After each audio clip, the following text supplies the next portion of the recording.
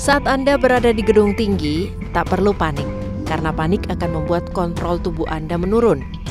Berlindunglah selama masih gempa, dan lindungi kepala serta wajah dari puing-puing yang mungkin roboh.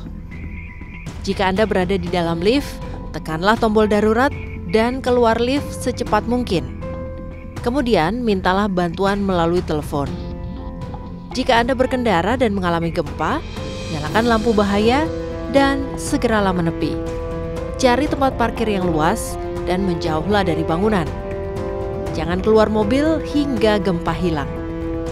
Jika gempa terjadi saat Anda berada di rumah, berlindunglah di bawah meja, menjauhlah dari perabotan berukuran besar, dan lindungi tubuh Anda dari jendela ataupun lampu dengan selimut. Pastikan kompor dalam keadaan mati.